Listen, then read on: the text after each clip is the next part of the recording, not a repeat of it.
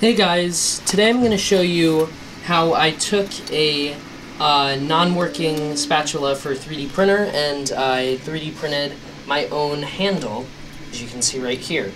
So, um, when I got my uh, X Machines uh, Lori 3D printer, as you can see right there, um, what happened was uh, it came with this awesome kit. Uh, this did not come with it, uh, but came with all these nice supplies, which is great came with the spatula. So the first thing I was doing is I was trying to remove prints with it, and uh, what do you know, it broke uh, because it was cheap wood. Uh, I'm not sure if you can see the crack right there, but it broke, and this kept on falling out. So what I did is I also had another one that I ordered on Amazon. Uh, I, I'd say a year back, and uh, it broke a couple of days ago. So I decided on 3D printing, designing 3D printing a cool little handle. So this was made in Fusion 360.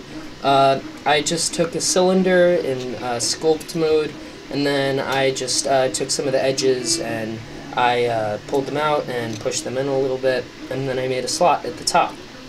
So it's very nice. It fits in my hand quite nicely, um, and all I need to do is just take one of these and then boom, I have a working spatula. So this is great. Uh, it was a great solution. I can use this perfectly now, um, and I'm going to create another one uh, for this as well. So I hope you guys enjoyed the video. Uh, I really enjoyed making this uh, video and designing this. It was a really fun project. It was nice and quick.